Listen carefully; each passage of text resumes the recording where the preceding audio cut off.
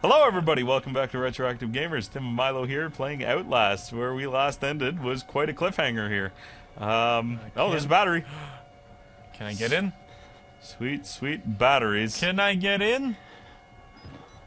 Nope, Nope. Locked door. So you need to figure out a way around to get the battery. Is there a way up there? Can you climb up there? Nope. Nope. Okay. You're gonna have to find your way around to get that battery. Great is this game again. Sweet, juicy battery. Batteries. What's with that that running around? Oh, we get to go through another dumbwaiter? It's locked. It's locked. I'm pretty sure it was supposed to be Welcome to Five Nights at Freddy's. Oh.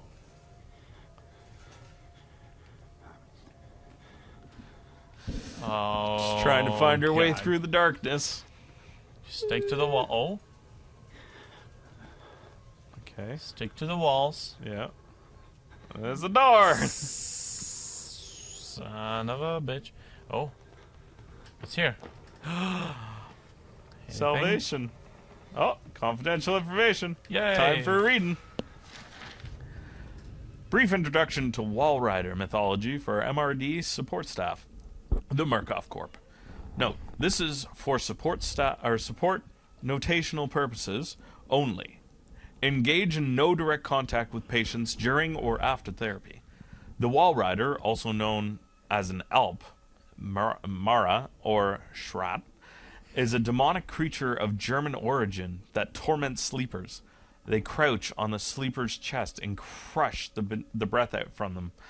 The sleepers or sleeper wakes terrified, paralyzed, and exasperating. The name Mara gives us the word nightmare.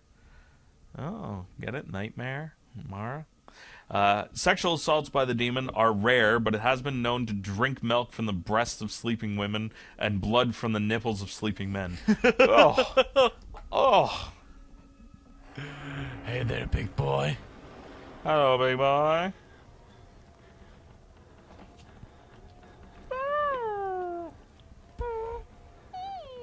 Well, we can't go up there. Back into the darkness. Into the darkness we go, looking for a way to get those batteries.